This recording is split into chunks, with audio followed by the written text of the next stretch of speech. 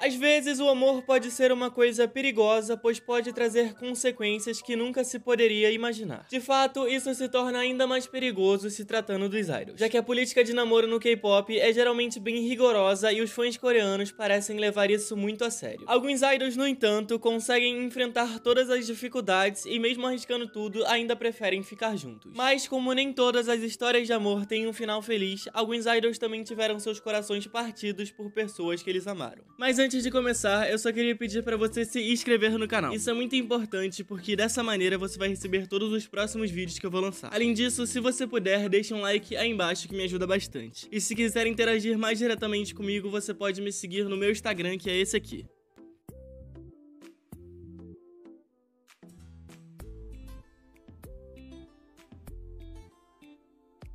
Yuna e Dawn são provavelmente um dos casais mais conhecidos do K-pop. Eles descobriram através de manchetes que foram expulsos da Cube logo após Hyuna declarar seu romance com seu colega de empresa. Mas os dois não tiveram medo de permanecer juntos, mesmo que isso colocasse em risco as suas carreiras. Os dois dominaram os noticiários coreanos no ano passado, quando a saga do seu romance se desenrolou. Hyuna era indiscutivelmente a solista mais popular da Cube Entertainment, muitas vezes referida como a rainha da Cube, e Hyo Jong era um dos membros do mais novo grupo da empresa empresa Pentagon que estava começando a decolar. Ambos também eram membros do Triple H, uma unidade de três pessoas que também incluía o líder do Pentagon, Rui. Foi durante um dos comebacks do trio que Ryuna e Dawn foram a público com seu relacionamento. A repercussão foi sentida imediatamente em todo o mundo do K-pop, especialmente pela popularidade que a Ryuna tinha. Logo, o preço das ações da Cube começou a afundar, com os investidores antecipando a reação pública dos fãs. Alguns fãs do Pentagon ficaram muito chateados por serem uma fanbase relativamente nova, e muitos viram isso como uma certa traição por parte do idol, ameaçando até boicotar o grupo, o que colocou muita pressão em cima da Cube, que por sua vez se mostrou uma péssima empresa em relações públicas quando se revirou sobre qual era sua posição real sobre o relacionamento. Primeiro negando a sua existência completamente antes de começar a agir nos bastidores. Então foi removido das atividades do Pentagon e as aparições públicas da Ryuna foram canceladas. Há rumores de que a Cube havia emitido emitido um ultimato para o casal. Eles teriam que terminar o seu relacionamento ou ambos seriam forçados a saírem da empresa. Após a sua recusa, a Cube rescindiu os dois contratos, alegando que a lealdade e confiança que eles tinham nos dois não poderia ser reconstruída. Alguns meses depois, eles assinaram junto com a Pination, a recém-fundada empresa pelo Psy. Recentemente, Ryuna fez seu comeback e dá o seu debut como solista sob a nova agência. No último episódio de Knowing Brothers, os dois compartilharam detalhes nunca antes contados sobre como eles se tornaram um dos casais mais icônicos do K-pop. Hyuna revelou que teve uma queda por Idal primeiro, que na verdade ainda era um trainee naquela época. Ela ainda disse que durante um ano e meio tentou dar dicas para que ele notasse os seus sentimentos. Mas Idal comentou que estava inconsciente porque não achava que uma super estrela como a Hyuna acharia interessante um trainee como ele.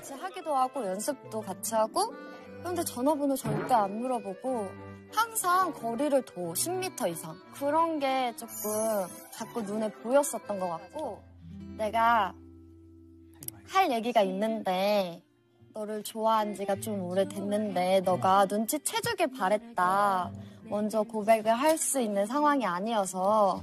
근데 너가 생각보다 눈치가 많이 없더라. 현아한테는 관심 없었더니네. 현아한테는. 우리 더니는 현아한테만큼은 관심 없었던. 뭐, 없었어? 그때 연습생이었어. 이렇게 음. 활동을 한게 음. 연습생이었는데 음. 설마 현아가 나를 그치. 아, 아. 할까라는 마음이 어, 용기 내서 이렇게 고백을 하는 건데 내가 기다려줄게 이렇게 얘기를 했지. 어. 그러고 나서 얘가 갑자기 훅 들어오더라고. 왜요? 지금 만나면 안 돼? 지금 만나면 안 돼?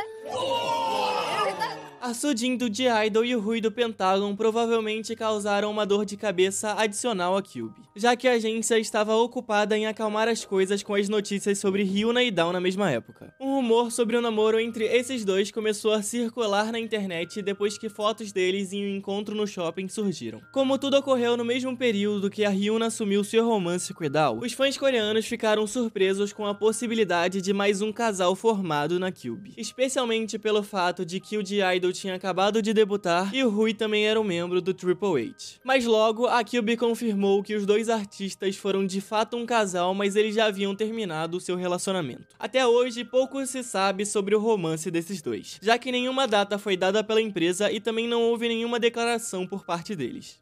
Embora a gravadora do BTS, Big Hit Entertainment, não imponha nenhuma regra restrita contra namoros, os membros do grupo, incluindo J-Hope, parecem não terem muito tempo para romance. E mesmo com toda a exposição que o grupo recebe por ser indiscutivelmente o grupo mais popular do gênero, nenhum dos membros esteve envolvido em um escândalo de namoro realmente forte, participando apenas de alguns rumores que logo são negados. No entanto, parece que no passado J-Hope teve uma namorada que ele gostava bastante. O rompimento desse romance foi trágico quando a garota que ele costumava amar o deixou por outra pessoa. Num episódio de Rookie King, J-Hope disse que gostaria de performar a música solo do Dynamic Duo porque isso o lembrava da sua namorada anterior. Ele relembrou como a música tocou depois que sua namorada o deixou por outro homem. Embora essa memória tivesse sido dolorosa para ele, ele disse que era legal tocar a música e lembrar de todas as lembranças que ele fez com ela no passado. 네,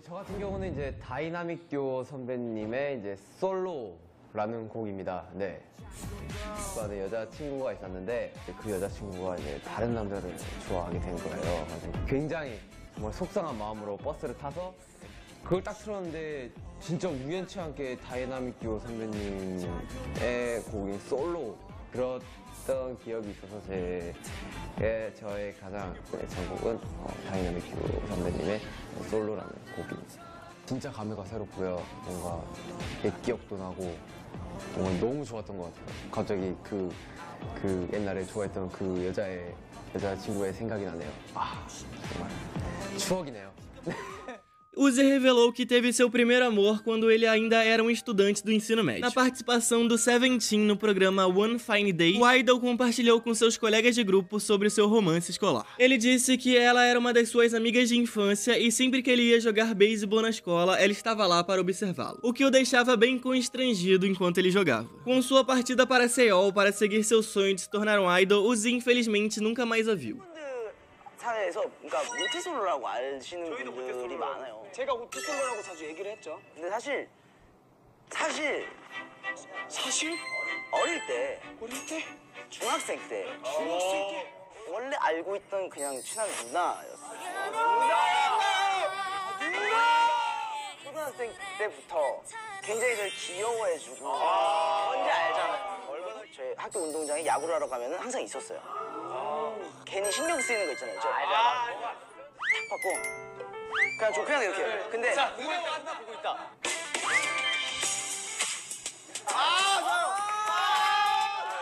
중3 될 때 여기를. 자연스럽게 잊혀지게 됐는데 다시 가니까 안 보이더라고요. Em agosto desse ano, a mídia coreana publicou fotos de Kim Daniel e Park Ji-hyo em um suposto encontro. E segundo a matéria, os dois teriam começado a namorar no início desse ano. Os dois se conheceram no ano passado depois que foram apresentados por veteranos em comum da indústria que ambos estavam próximos. Ao longo do ano, eles conseguiram dividir as suas agendas lotadas e continuaram se encontrando, com rumores de que a Ji-hyo foi uma grande ajuda para Daniel em seu caminho difícil até o seu debut solo, com toda a polêmica que ele teve que enfrentar no processo contra sua ex-agência. Apesar do medo que os fãs sentiram pelo que poderia acontecer aos dois, principalmente por conta de Ji-hyo ser a líder de um grupo extremamente popular, os dois receberam bastante apoio da comunidade e até mesmo das suas empresas que se pronunciaram muito pouco sobre o caso. A JYP apenas confirmou que Ji-hyo estava realmente em um relacionamento com Daniel, com uma breve declaração dizendo que os dois estão atualmente se conhecendo e tendo bons sentimentos um pelo outro. Outro casal revelado pela mídia esse ano foi a Jenny e o Kai. Já virou uma certa tradição pela Dispatch revelar casais no primeiro dia do ano. E dessa vez não foi diferente, com talvez o maior casal em termos de popularidade já revelado pela mídia. Kai, que já esteve em um relacionamento anterior com a sua colega de agência Crystal, estava novamente sob os holofotes por conta de um escândalo de namoro. Dessa vez com Jenny, que apesar de ser uma idol relativamente mais nova no cenário do K-pop, já é com certeza uma das mais populares. De acordo acordo com a matéria, Kai e Jane estão envolvidos romanticamente desde outubro de 2018 e se encontraram diversas vezes desde então. Apesar de chocar todo mundo do K-pop com essa notícia, esse romance não durou por muito tempo. Kai e Jane teriam terminado após cerca de 4 meses de namoro. Essa notícia foi obviamente surpreendente porque o relacionamento deles havia acabado de vazar para o público. A razão para os dois decidirem cortar os laços seria supostamente porque ambos queriam se concentrar em suas carreiras. E esse foi o vídeo, muito obrigado a você que assistiu ele até aqui. Não se esqueça de deixar um like aí embaixo, que isso vai me ajudar demais. E a se inscrever no canal, que assim você vai receber todos os próximos que eu vou lançar. É só isso e até mais.